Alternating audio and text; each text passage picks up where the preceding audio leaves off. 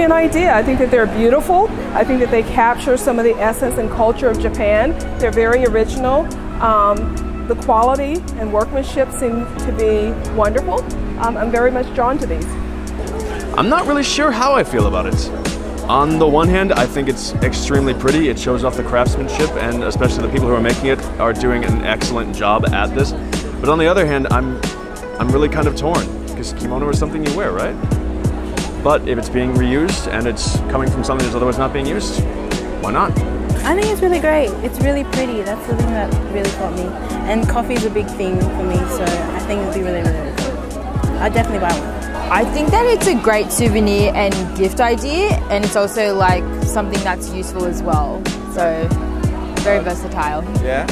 Yeah, it's really good. This, uh, it's a really good uh, bubble. Uh, I think it's good. Uh. I like kimono. Yeah, I don't ever dress kimono, but I like. I all the people dress kimono. It's very good. Uh. yeah, I think that's uh, really beautiful because the culture feels so strong in here. you can uh, feel like having Jap uh, Japanese around you. Like, yeah, you know, like the feeling of being in Japanese. It's cool from kimono. This is really beautiful and it's like uh, real art and history in the same time. Art and, and history. So this is great. This is beautiful.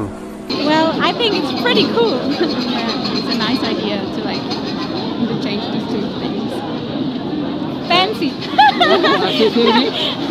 no, no, it's fancy.